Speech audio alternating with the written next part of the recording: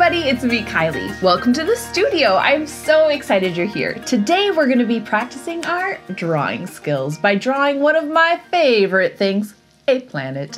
Not just any planet, but the brightest planet. Do you know which one it is? Venus. Let's do it. I'm going to start out with a big circle. Don't worry about getting your circles perfect. Not all planets are perfectly round anyway. Add some detail to the planet Venus, I'm going to do some wavy lines. I'm not going to connect them, but by putting them close together, it's going to make them look connected, which will be kind of cool looking. Ready? One. And then real close but not touching. Two. Cool, right? I'm going to do a few sections of that.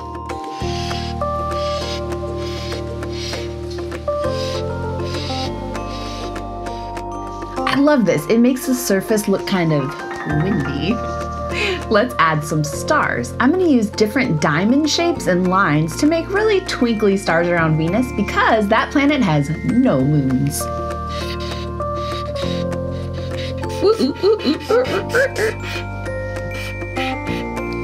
Cool.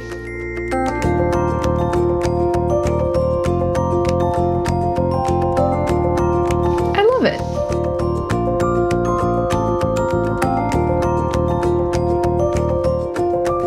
Let's write the name of Venus at the top of this drawing. Do you know what the letter that starts the word Venus is? The, the, ah, V. Let's do it. V. E. N. U. S. Venus. Let's color it in.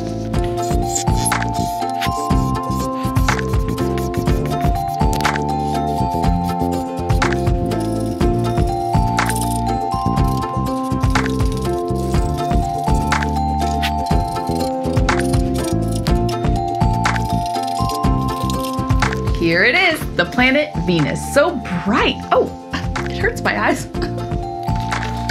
if you want to draw more planets together, or learn to draw other things, or make all sorts of stuff, subscribe to this channel.